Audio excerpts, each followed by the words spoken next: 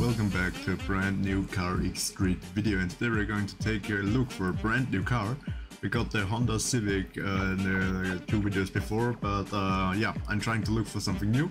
We've got roundabouts uh, 50k uh, credits and I think I'm going to decide for a rear-wheel drive car.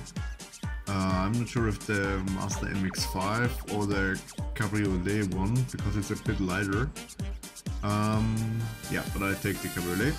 And you will see a small time lapse now of me modifying the car. And then we're going to take some races with it. And I hope you enjoy the video. Hit the like and subscribe button. And I hope we see each other in another video.